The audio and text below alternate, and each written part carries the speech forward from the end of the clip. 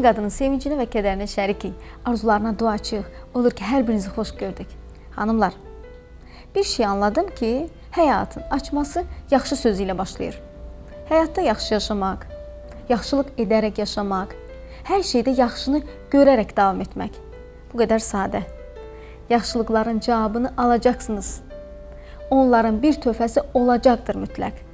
Odur ki, bu həftə yaxşılığın ən doğru yol olduğunu bilərək, inanaraq davam edən qəhrəmanlarımız kimlər oldu? Bir ona göz ataq. Bu dəfəki zərif qəhrəmanlarımız Müğənni Lalə Məmmədova çox zərif nüanslara toxunacaq. Yaşadığım burulğan, bu fırtına, bu qasırğanı bir gün içərisində yaşamamışam. Qadınlar çox zaman sona qədər ümidlə yanaşırlar. Ümidlərini itirmirlər. Düşünür bəlkə düzələr, bəlkə yaxşı olar. SSR-nin deputatı, məclislərin ən fəal qadını bu gün bizi Toyuqlu Cücəli həyətində salamladı. Özüm üçün mən heç nə eləməmişəm. Həmişə özümü sadə aparmışam. Çünki bilirəm ki, bu 5 ildir. 5 ildən sonra mən bu olmayacaq. Bəs sabah mən cəmaatının qabağına necə çıxacağam?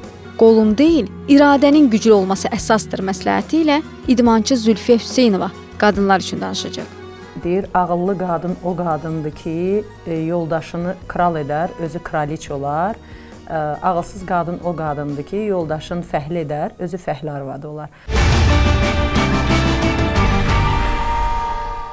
Qəhrəmanlarımız yaşadıklarından örnəklər çəkərək hansı məsləhətlər, tövsiyələr verirlər. 9 qat dünya çempionu, 5 dəfə sambo, 4 dəfə judo üzrə çempionluq titulunu qazanmış, müxtəlif beynəlxalq turnirlərin qalibi olan xanım deyir ki, əsas olan həyatda çempion olmaqdır. Əsas olan içdə olan gücə inanmaqdır. Odur ki, iradənin qalib gəldiyi anlar ekranlarınızda.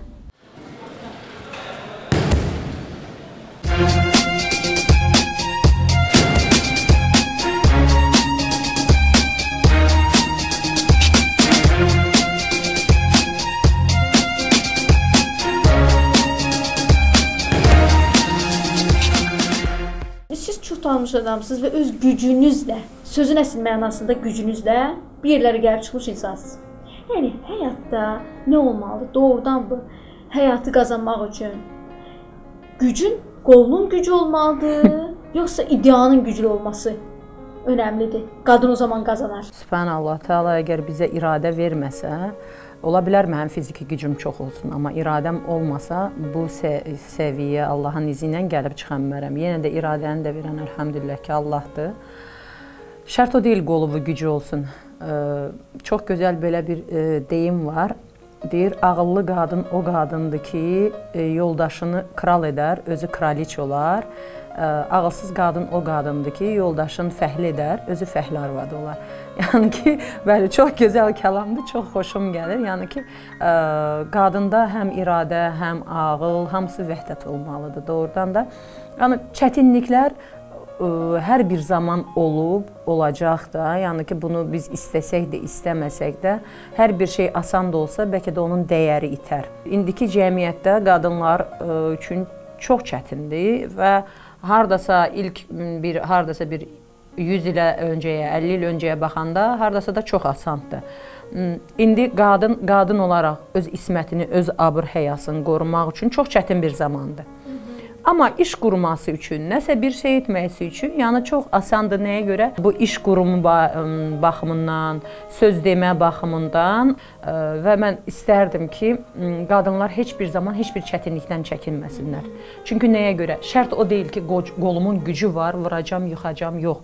İnsan öz iradəsi ilə, öz hərəkəti ilə elə bir xaliqələr yaradar ki, o belə sözün əsl mənasında qıraqdan baxıb həsəd aparmaq olar. Mən gələndə idmana Sovetlər ölkəsi vaxtı gəlmişdim və o vaxtda Azərbaycanlı qızları barmaqla saymaq yox idi. Demək olar ki, 1-2 var idi ya yox idi. Onlardan da biri mən idim ki, mən də Azərbaycanlı olaraq gəlmişdim. Və öz Azərbaycanlı kişilərimiz çox sağ olsunlar, müəllimlər burdan baxırlar ki, özləri də bilirlər ki, əşi sənin nə olub? Gedəcəksən də yarışa. Niyə özü öldürürsə? Erməniləri ruslara aparırdılar.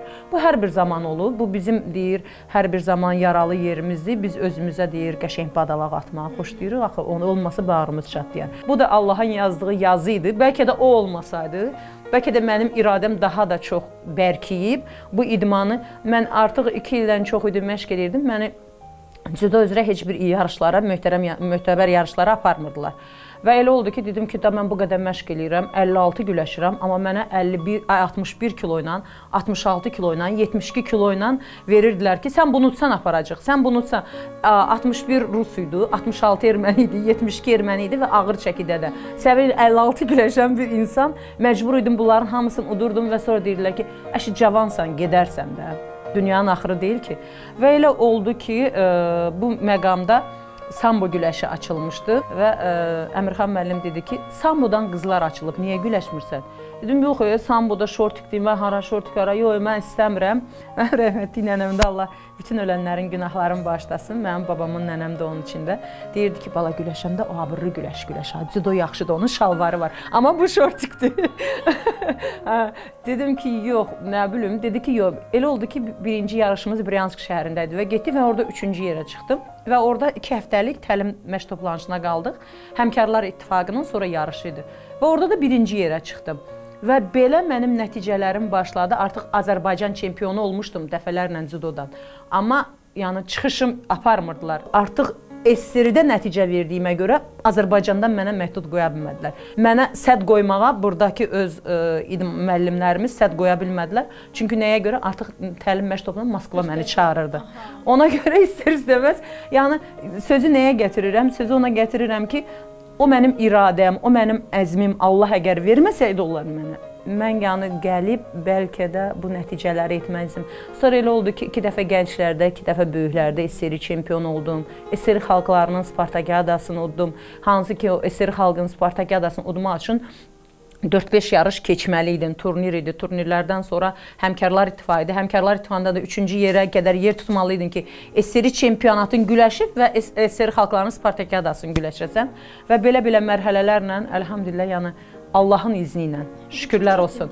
Həddindən indi elədir ki, Azərbaycan çempionu olursan və gedirsən dünya Avropa çempionatına. Amma əvvəl mən baxmayaraq ki, 4 dəfə SSR çempion olmuşdum, 2 dəfə gənclərdə, 2 dəfə böyüklərdə, amma yalnız Moskvada keçirilən dünya çempionatında iştirak etdim. Yenə də orada bu Qafqazlıdır, bu müsəlmandır.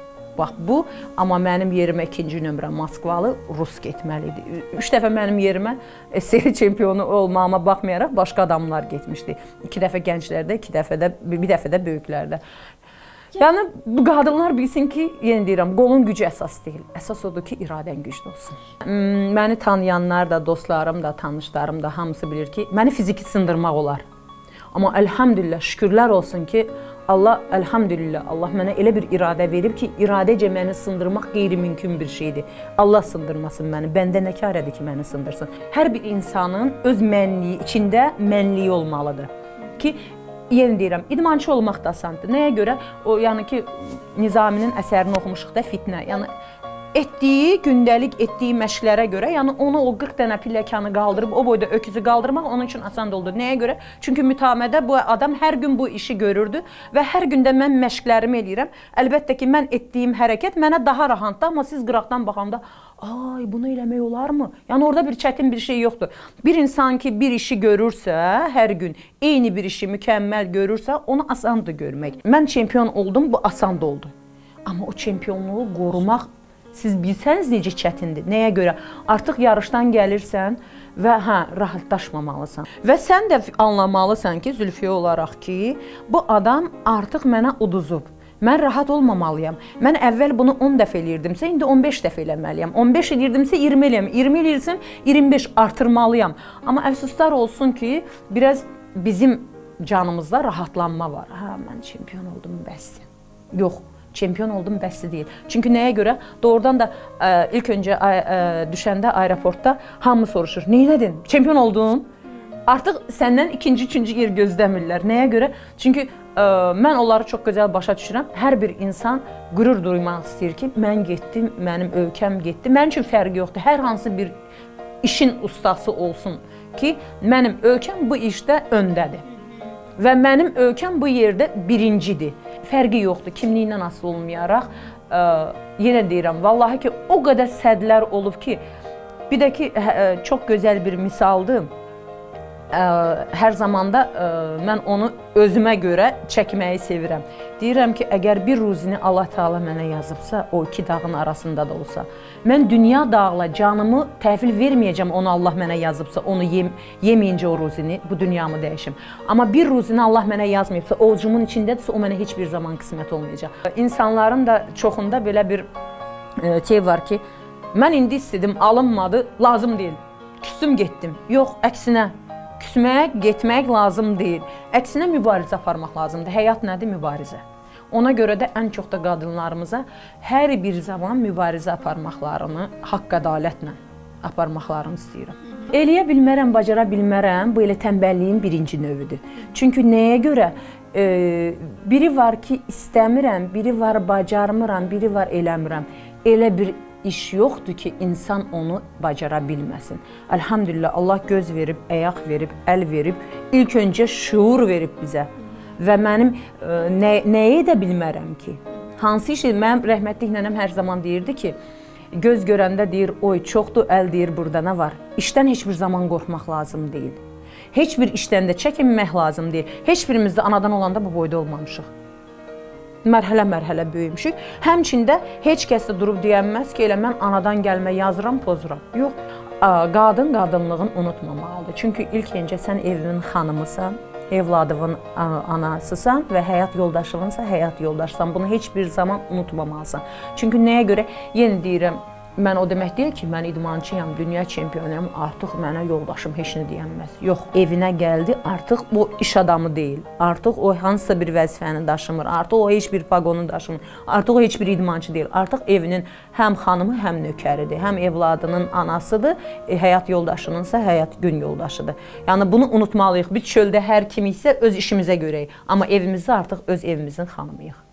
Kənardan elə mən də baxanda ola bilsin ki, Allah keçsin günahımdan zənnə qapıla bilərəm də ki, a nə yaxşı, bunda yəqin problem yoxdur da.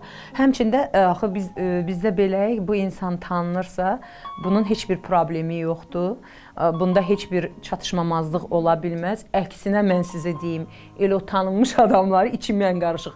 O qədər elə qəşəng problemləri, o qədər elə qəşəng çatışmamazlığı var. Məsələn, mən yenə deyirəm, mən deməkdən Allah'a sığıram. Özümdən razı bir adam deyiləm nə barədə, öz xasiyyətimdən. Çünki indiki zamanda xoşlayırlar ki, üzə gülsünlər. Ha, o bədbəxtçilik məndə yoxdur. Xoşum gəlmədisə, onun üzünə deməliyəm. Deyirlər, dilini niyə dinç qoymusan? Deyirəm, başa düşürsə, mən onun üzünə necə yalandan gülüm?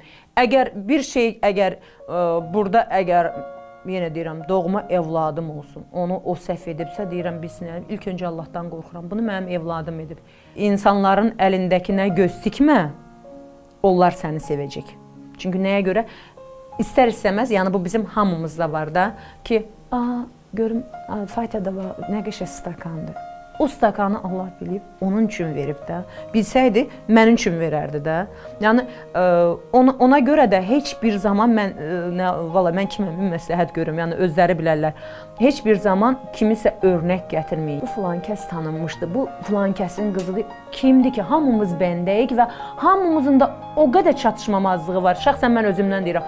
O qədər çatışmamazlığım var. O qədər bu dilimə görə kiminsə qəlbini qıra bilərəm, kiməsə çox belə iti sözümü deyə bilərəm. Bilirəmmi burada düzəm, sözün düzün deyirəm.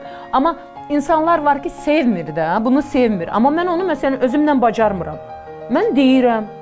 Deyirlər lazım idi. Deyirəm yox, o bilsin ki, axı mən buna qarşı beləyəm. Niyə deyirəm o elə bilsin ki, mən ona qarşı daha yaxşıyam. Axı mən ona qarşı yaxşı deyirəm. Yaxud da axı mən ona qarşı pis deyirəm. Karyera elədir ki, bu gün var, sabah yoxdur da. Yəni ki, bu gün mən idmandayam 5 il, 10 il, 15 il ölənə kimi olmayacağam ki. Ölənə kimi yəni mən istərsəməz formamı saxlamaq üçün, sağlamlığımı qorumaq üçün nəsə edəcəm. Amma ki, ailə elə bir şeydir ki, iki bir insanın bir-birini başa düşür və onlardan da dünyaya gətirdiyi evlad ondan gözəl nə ola bilər? Və hər bir şeyin də gözəlini evladında görmək istəyirsən. Yəni hər bir normal qadın çox düzgün vurğulayır ki, mən, ə, mən aləmdə görürəm. Nəyə görə? Ailədə sakitçilik varsa, ailədə bir-birini başa düşmək varsa, ailədə bir-birini tamamlamaq varsa, nə xoşhalın o insanın. Doğrudan da elə əsl xoşbəxtlik ondadır. Karyera elədir, yenə deyirəm, heç kəs dədəsindən bax bu kreslonu gətirməyib, heç kəs o dünyaya gedəndə bunu aparmayacaq. Hərənin alnına nə yazılıbsa, nə varsa hər bir insanın qədəri deyir artıq dünyaya gəlməmişdən Subhanahu taala Allah taala özü yazır. Nədir, nə deyil. O da olacaq. Bu dünyada elə bir ki böyük bir şansıdır ki onun onu başa düşən həyat yoldaşı var. Məsələn, mən 5 dəfə dünya çempionu olmuşdum. Artıq idmandan uzaqlaşmışdım, böyük idmandan və evladım dünyaya gəlmişdi. 1 1 yaş yarım idi. Yox, əstəğfurullah, bir 3-4 yaşı var idi. Yoldaşım dedi ki, bəs ustalar arasında yarış var. Niyə güləşmirsən? Dedim, "Ha, yox." Dedi ki, "Mən səni sevdiyim qədər, mən sənə hörmət etdiyim qədər sənin də sənətinə də hörmət edirəm. Mən səni tanıyanda mən bilirdim sən idmançısan." Və sən əgər gücün varsa niyə gedib güləşmirsən? Və elə oldu ki, doğrudan da Braziliyanı getdik. Braziliyada idi dünya çempionatı və mən orada düzdür, öz çəkimdə 57-də yox, artıq 70 kiloda güləşdim. Və çempion oldum. Gəldim, dedi ki, sən işini davam etdir. Niyə etdirmirsən? Elə oldu ki, 5 dəfədə ustalar arasında dünya çempionu oldum. Yəni bu yoldaşımın məni necə deyirlər, hörməti və mənim sənətimə olan sevgisi idi ki, sənətimin yanına ki, sən bunu ilə mən görürəm ki, sən bunu ilə yaşayırsan və sən daha çox zövq alırsan. Amma desə ki, günü bugünkü idmana artıq getmirsən, artıq sən zaldan uzaqsan, evdə deyir, biraz deyir, o qaçmaq üçün daroş şey, yolumuz var, daroşkamız var. Nə bilim, biraz ştanga zad alıb qoymuşuq. Evdə evdə də öz məşqimi eləyərəm, amma getmərəm o zala. Çünki nəyə görə? Yenə deyirəm, əgər yoldaşının izni olmadan bir işi edəndə mələklər səni lənətləyir. Mən də onların lənətinə düşmək istəmirəm. Allah məni istədiyi bəndələrindən olub ki, məni məni başa düşən mənim ilk öncə dostum və həyat yoldaşım var. Qadın həyatı doğrudan da doğru yaşamalıdır. Qaydalarla yaşamalıdır. Demirəm ki, elə sən qadınsan, sənin başına vurmalıdır. Qadın sözünü deməyi də bacarmır. Müğənni Lalə Məmmədova çox zərif nüanslara toxunacaq. Yaşadığım burulğan, bu fırtına, bu qasırğanı bir gün içərisində yaşamamışam. Qadınlar çox zaman sona qədər ümidlə yanaşırlar. Ümidlərini itirmirlər. Düşünür bəlkə düzələr, bəlkə yaxşı olar. SSR-nin deputatı, məclislərin ən fəal qadını bu gün bizi Toyuqlu Cücəli həyətində salamladı. Özüm üçün mən heç nə eləməmişəm. Həmişə özümü sadə aparmışam. Çünki bilirəm ki, bu 5 ildir. 5 ildən sonra mən bu olmayacaq. Bəs sabah mən cəmaatının qabağına necə çıxacağam? Bir xanımla tanış edəcəm sizi. Onu mütləq tanımalısınız. Bu cür insanlar unudulmamalıdırlar. Sadə adamlar deyillər. Sevil Qaziyeva sıralarından zəhmət yalnız zəhmət deyərək SSR-də deputatlığa qədər yüksələn qadın. Yəni tarix görmüş qadın. Bu gün balaca evində Toğ Cəli həyətində salamladı bizi. Sordum niyə yoxsuz? Niyə görmədik sonralar sizi? Dedi işim işimi görmək olub, özümüzü göstərmək deyil. Mən isə bu dəfə ondan xahiş elədim ki, yüksəldiyi pillələrdən, gördüyü işlərdən aram-aram danışsın. Qadının gücünü anlatsın.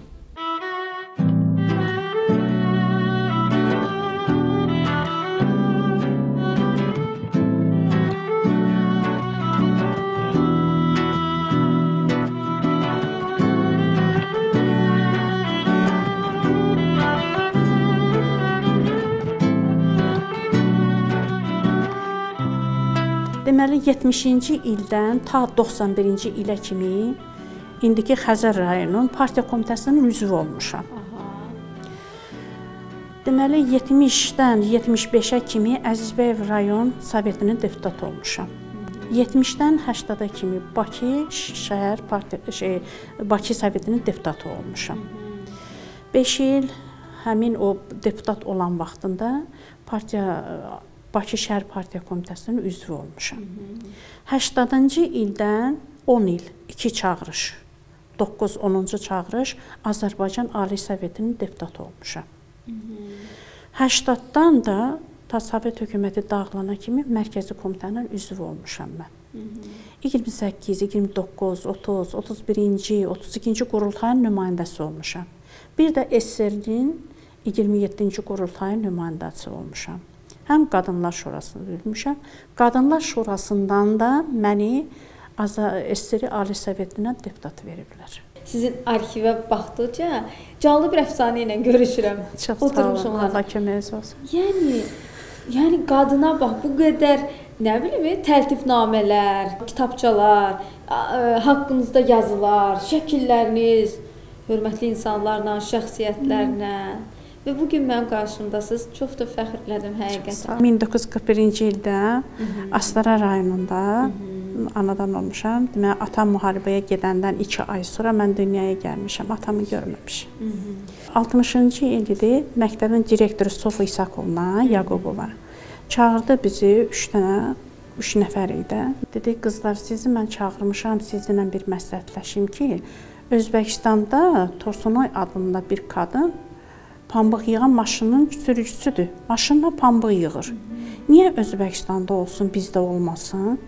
Mən də sizi çağırmışam, bəs razısınız dedik, əlbəttə ki, razıyıq. Niyə bizdə olmasın ki? Bizi göndərdilər. Deməli həmin il şəklimizi çəkdilər, qəzetdə elan vuruldu, qızlar sükan arxasına. Onun üçün birinci ili bizə bir cərgəli pambıq yığan maşını verdilər. Deməli həmin ili mən pambıq yığdım 25 ton. Onda bizə 2 cərgəli pambıq yığan maşın verdilər. Hmm. Onunla da biz pambıq yığdıq. 55 ton pambıq yığdım ikinci ili. Sonra 80-cı ildə Heydər Əliyev bizim zavoda gəldi. İlk dəfə mən onu qarşıladım qapıda. Onun yaxasına zavodun emblemasını mən taxdım yaxasına. İnanırsınız ki, bütün rayonu Buzovnanı, Şağanı, Mərdəkanı, Şuvalanı, Kresi, Zirəni hamısını gəzmişdi. O emblem elə onun yaxasında da qalmışdı. Dedi biz bildik ki, sormasam sən taxmısan bunu. Açmır. Həm də ki, kim mənə nə müraciət edibsə, mən onu yerinə yetirmişəm. O vaxt binə yoxda axışırlar, suyu yox idi. Hamısı pulla alırdılar, eləyirdilər. Hə. Onda gəlmişlər, yığışdılar burada, iclas aparırdılar. Dedim ki, bəs lazımdır. Həm avtobus astanovkasını düzəldin ki, cəmaət yansın orada, avtobus gəlib qalsın, minsinlər avtobusa getsinlər. Bir də ki, bu su içi işini təmin eləyin. Dedilər, yox, ə, Mərdəkanda makaron sexi açılıb, bəs su ora gedir. Əgər bura biz versək, davleniyası aşağı düşəcək, onlar işləyə bilməz. Dedi, heç olmasa 3-4 yerdə qoyun, cəmiyyət heç olmasa oradan getsin, danış, aparsınlar.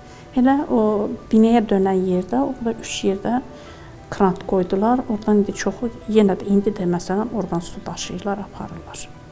Özü də ki o vaxt binədə 25 min əhali yaşayırdı. Hı -hı. Xəstəxanası vardı, poliklinikası vardı, 4 dənə uşaq bağçası vardı, 3 məktəb vardı.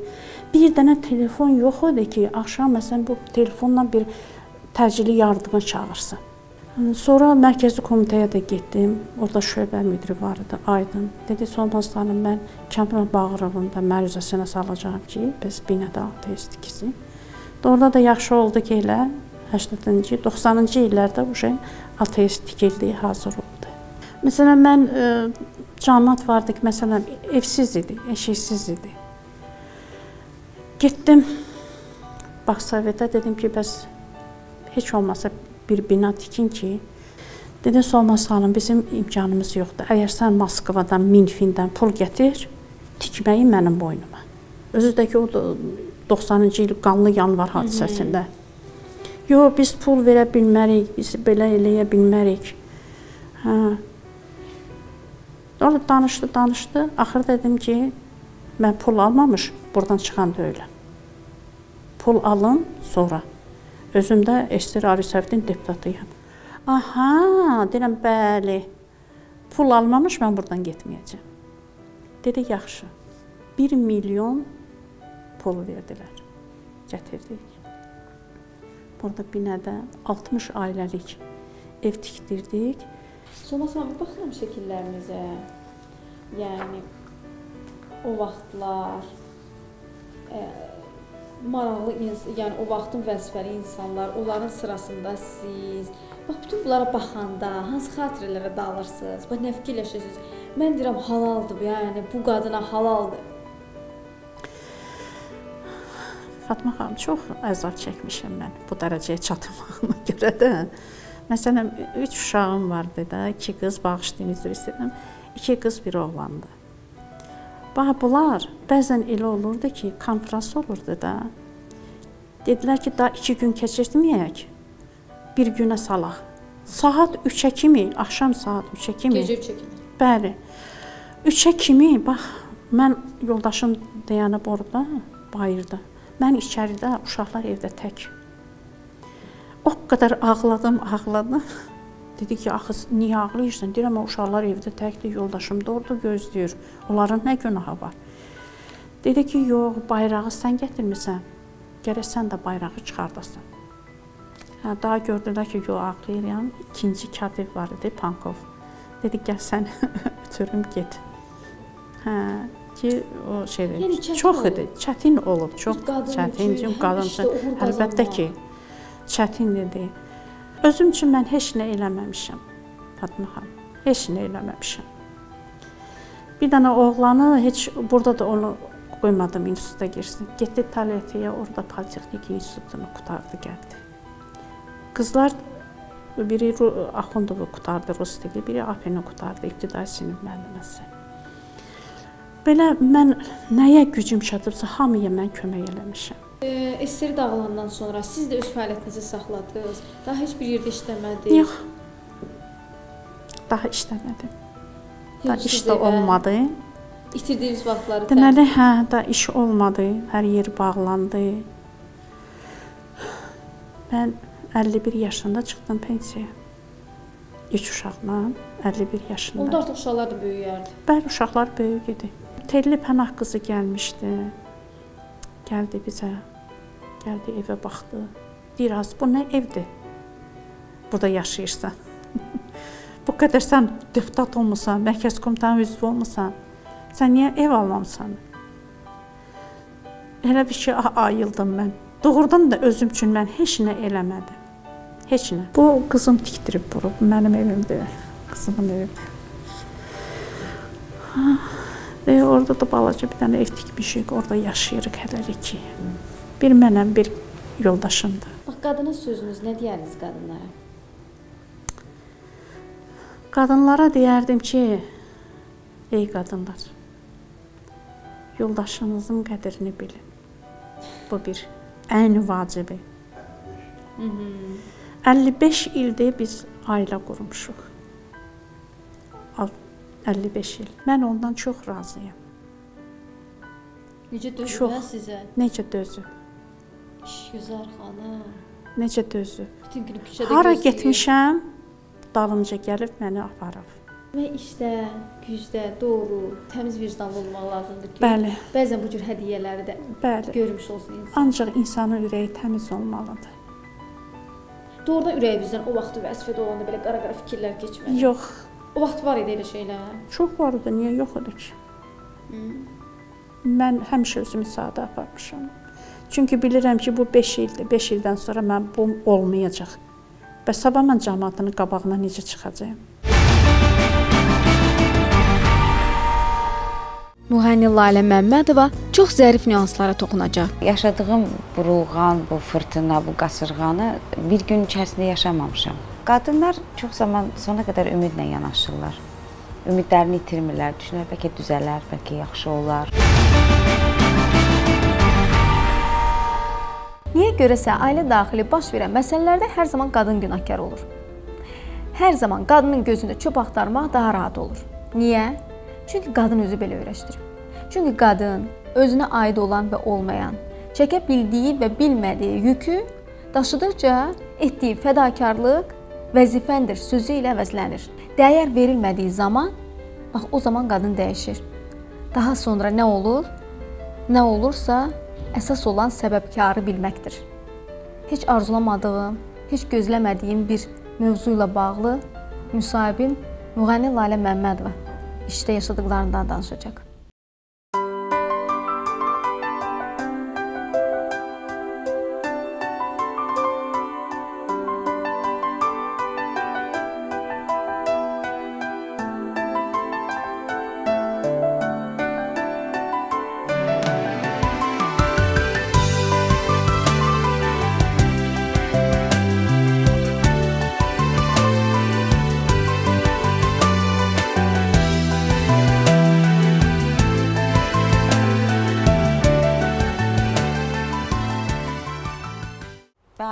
Öz-özümə sual verdim. Dedim ki, bəlkə mənim valideynlərim o vaxt imkanlı bir adamlar olsaydı, onlar mənim e, yaradıcılığıma, yəni maddi cəhətdən dəstək olsaydılar, mən indi əldə elədiklərimi daha tez əldə edə bilərdim. Yəni bu bir 10-15 ilin söhbətidir də, beynimdə belə fırlanırdı.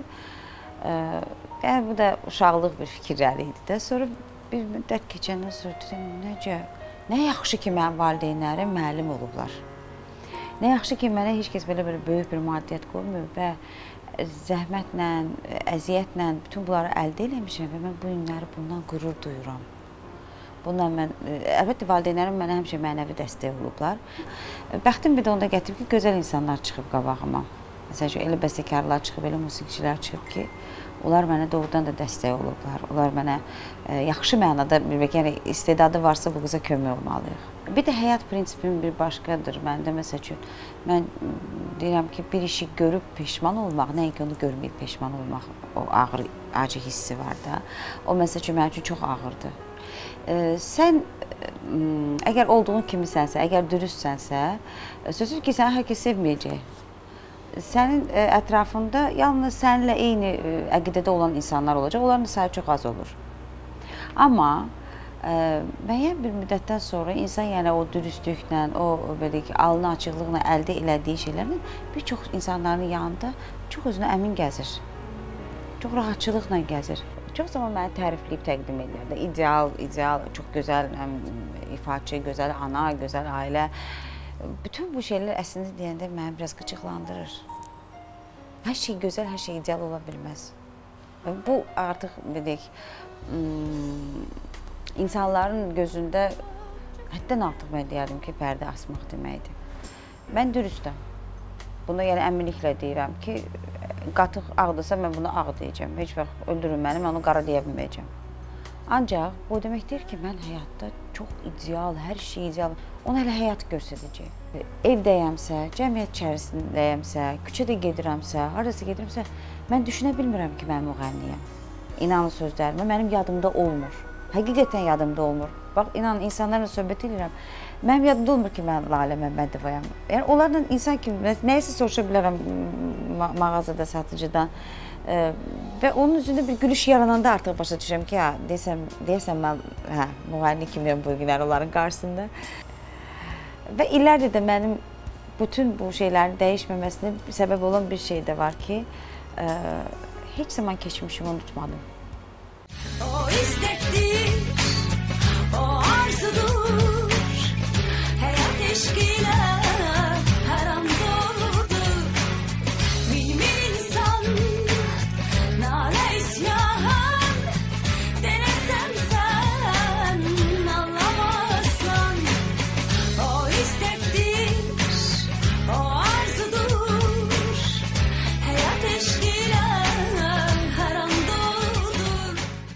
Mən həyatımdakı deyək ki, yaşadığım burulğan, bu fırtına, bu qasırğanı bir gün içərisində yaşamamışam.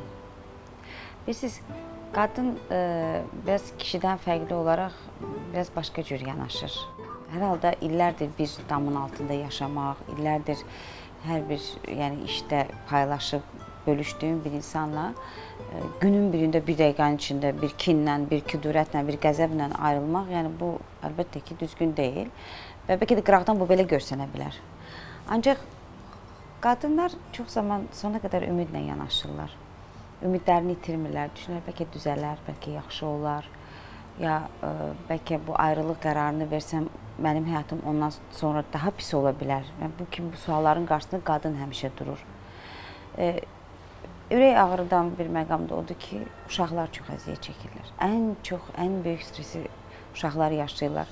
Bizə biz böyüklər yenə bir nəyisə başımızı qata bilirik, işlə, sənətlə, planlarımızla. Amma uşaqlar onu düşünmə iqtidarında olmurlar. Uşaqlar çünki özlərinin ayrılmaz bir parçası hiss edirlər valideynlərindən.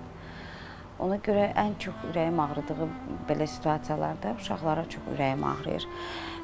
Bir də bilirsiniz, mənim məsələn düşüncələrimdə çox fərqli bir şeylər dünya belə deyək, bir çox fikirlərimi redaktə elədim əslində bu qasırğadan, burulğandan sonra səbəblərini axtarmağa başladım. Niyə məsəl üçün boşanmaların səbəbi çoxalır? Məs məs axır illərdə. Və gəlib çıxırdı yenə də ə, hardasa qadınlarımızın üstünə, analarımızın üstünə. və başladım diqqət yetirməyə. Məsəl üçün mənim məndən başqa bacılarım da bir məndə iki qızdır. Onlar da hamısı da bir oğlan, bir qızdır. Və fikir verdim ki, onların ailələrində, yəni bizim ailədə olmamışdı oğlan. Hamımız 5 bacı idik. Amma onların ailələrində artıq oğlan uşaqları böyür. Mən baxıram ki, oğlan uşaqlara biraz yazıqlıqları gəlir. Onun üzərində daha çox çalışırlar. Onu daha belə əzizləyirlər. Demək, özümüzük günahkar. Qızlarımızı, ah, sən bunu eləməlisən, bunu bacarmalısan, evdə e, pəncərə də yumalısan, qab da yumalısan, yemək də. Sözsüz ki, aydın məsələdir ki, qadın hətta onu bilməsə belə, sevdiyi şəxslə ailə qurarsa, yaxud da ki, yəni lazım olarsa, onların hamısını həyata keçirə biləcək, sonradan da öyrənə biləcək bir şeylərdir bunlar. Ancaq qadınlar, xanımlar ailə qurulanda daha çox möhkəm olurlar. Daha çox belə Kişilər isə artıq nazlanmağı öyrəniblər və onlara elə gəlir ki, onlar ömrlərinin sonuna kimi ana uşaqları olmalıdırlar. Bax problemin bir çözümünü hardasa gəldim, bax bura gətirdim, çatdırdım ki, aha, demək biz özümüz öz oğlan uşaqlarımızı düzgün tərbiyə eləmirik. Ailə qurulan zaman belə deyək, hər ikisi e, nikaha girəndə orada deyirlər ki, məsuliyyət hər iki tərəfin üzərində, hər ikisi bərabər hüquqludur və hər ikisi ayrılmağa da qərar verəndə nəyə görəsə bu, bu yarı yenə bölünəcək bu hüquqlar hamısı bütövlükdə yenə gəlir düşür qadının üstünə. Niyə? Başa düşürük ki, bundan o tərəfə hər şey sıfırdan başlamalıdır. Amma sıfırdan başlamaq çox çətin olur xanımlara. Çünki ə, ayrılanda kişi əlləri cibində kostyum şalvarı geyindi, getdi öz işini, öz həyatını yenə də yaşayır. Amma qadın oturur fikirləşir ki, mən bu uşaqları böyütməliyəm. Mən bu uşaqların maddi tərəfini ödəməliyəm mənim bir o yuvam olmalıdır və nəinki özünün həyatını sıfırdan başlayır, uşaqlarınınkini də başlayır. Və qadın ən gözəl yaşında, ən gözəl gənclik, yəni cavanlıq, qadınlıq dövründə ruhən artıq olur 50-60 yaşında bir qadın. Çünki o problemlərdən, o bütün şeylərdən e, deyək ki, həyatını yaşaya da bilmir normal uşaqlarıma bir arzum həmişə olur ad günlərində deyirəm ki, gülməyi öyrənin. Gülməyi öyrənin. Mən bir neçə ay bundan qabaq təsadüfən, tam təsadüfən oxuduğum bir kitabda bir yazıçının gözəl sözləri vardı. Mən onu oxuyanda özüm özümə mətər qaldım ki, görün bilmədən mən bunu eləmişəm. Dedik, yazılmışdı ki, güclü insanlar hər zaman gülürlər həyatda. Güclü insanlar gülməyi bacarırlar. Demək ki, doğrudan da zəif insanlar kimləri görürsə ağlamağı, dərdini, problemini paylaşmağı, gülməyi bacaran insanlar demək ki, ən güclü insanlar imiş. Hmm, o demək deyil ki, mən də bütün bunlardan sonra özümü güclü hesab edirəm. Yox, yenə də mən hesab edirəm ki, xanımın ə, söykənəcəyi bir çiyin olmalıdır nə qədər ondan qəhrəman da düzəltsək, nə qədər fədakar ana, fədakar qadın desək, qadının öz qadınlığını, öz zərifliyini, öz zəifliyini hiss etməsi üçün mütləqdir ki, güclü bir insan olmalıdır onun həyatında. Olmazsa, hə, qadın artıq itirir. Bilmir ki, heç qadındır yoxsa kişidir. Fəhlədir yoxsa xanımdır. Niyə namus, qiriyyət deyəndə qadının özəl həyatı nəzərdə tutulmalıdır? Düşünmüsüz o haqda? Niyə namus qadının özəl həyatı, şəxsi həyatı ilə ölçülməlidir? Hər kəsin öz özəl həyatı var. Hər kəsin öz şəxsi həyatı var. Əsas nədir? Əsasda əsas həyatda kimsəyə zərər vermədən yaşamaqdır. Xanımları ilk növbədə ilk növbədə özlərini toparlamağı məsləhət görərəm. Buna bir gün, üç gün, beş gün yox, bir müəyyən müddət lazımdır. Depressiyaya düşməyə əgər o insanın, o xanımın övladı varsa, onun haqqı yoxdur artıq depressiyaya düşməyə. Çünki o qarşısındakı övlad üçün də yaşayır, ona da lazımdır. Ona görə ilk növbədə xanımlar toparlamalıdırlar. Həm özlərini, həm fikirlərini. Bir dərindən nəfəs almalıdırlar arxaya baxmadan yalnız irəli getməlidirlər. Artıq keçmişdən nə oldu, keçmişdə qaldı. Hətta bu gün yaşayıramsa, e, dünən haqqında, yox, dünəni əlbəttə ki, unutmayacağam. Nə qədər desəm də yaddaşımdan silinməyəcək. Ha özümü öldürsəm də bu alınmayacaq. Amma dünənlə yaşamaq olmaz. Xatırlamaq olacaq. Amma yaşayım da mən bunu niyə belə yox. Hər bir işdə bir xeyir var. Hər bir qaranlıq gecənin mütləqdir ki, açılacaq gözəl günəşli bir sabahı var.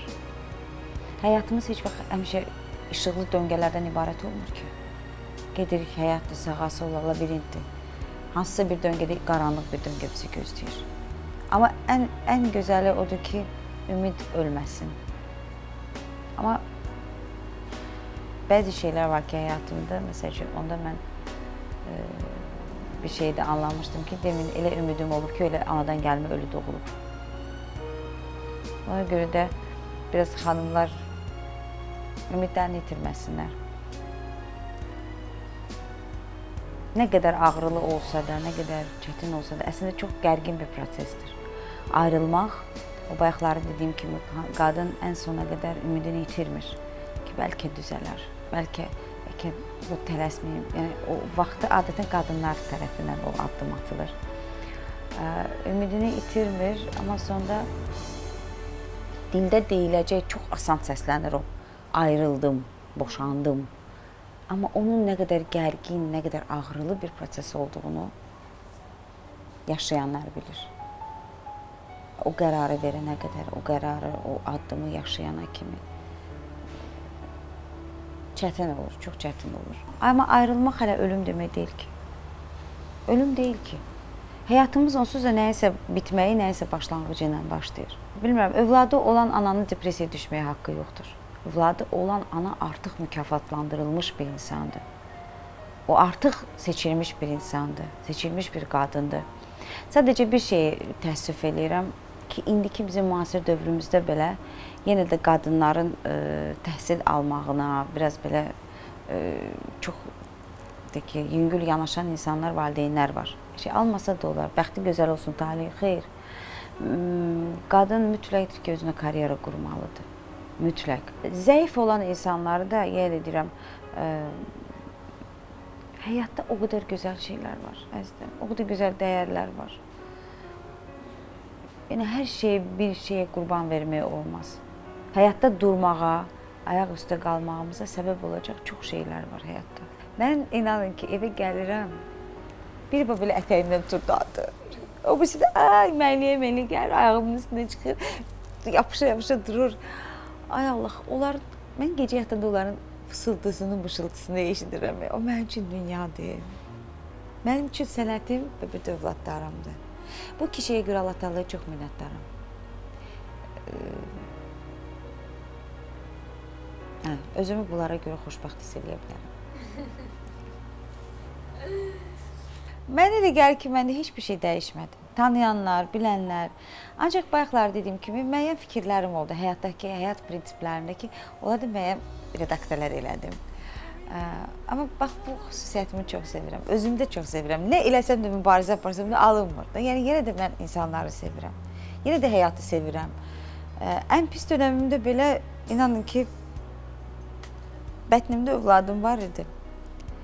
Mən bağımızda ağac əkirdim, nə bilim, e, torpağın içində şələnirdim. Mən ə, e, böyük qızım yolka ağacı istəmişdi. Mən gedib artıq son həftə, son günlərimi yaşayırdım. O yolkanı bir həvəslə qururdum. Elə evdəkilər hamı da gəlirdi, baxırdılar ki, bizim sən heç sözümüz yoxdur.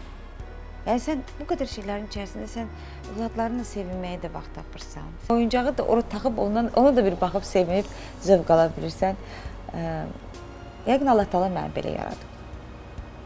Ancaq bütün bunlara rəğmən əlbəttə ki, axşamlar gecə olanda baş-başa qalır insan özü ilə. Onda nə düşünürəm, onu deməyəcəm sizə. Onda da gülməyə çalışıram. Çalışıram. Çünki ən çətin məqam elə bax o olur. Bütün gün ərzində başını qatan işlər bitir, e, uşaqlar yatır və sən artıq onda özünlə baş-başa qalırsan. Həminki e, mərhələndə çalışıram bir biraz ötürüm, tez yuxuya gedim, düşünməyim. Scarlett O'Hara e, Küləklə sürünənlər filmində onun çox sevdiyim bir frazası var. E, ən çətin məqamlarında qalır, qalır. Mən bu haqda sabah düşünəcəm. Bax həmin o axşam o məqamlar çatanda mən vaxtı sabah düşünəcəm və yatmağa çalışıram. Qadına sözüm, yorulmayın, bezməyin xoşbəxtliyinizi axtarmaq üçün. Axtarın xoşbəxtliyinizi. Bəlkə də kiminsə burnunun ucundadır xoşbəxtlik. Bəlkə də e, kimlər üçünsə çox-çox uzaq görünür, amma elə o da yaxındadır. O xoşbəxtliyi axtarmaqdan heç vaxt yorulmayın. Bezdim deməyin, tapacaqsınız. Odur ki, bilin, əsas olan sizsiniz. Sizin gücünüz əvəzsizdir. Sizin qayğınız əvəzsizdir. Nə olursa olsun, qadın varsa ocaq isinir. Elə buna görə də özünüzü sevin. Özünüzü sevin və dəyər verin. Görüşərik. Zamana ümid.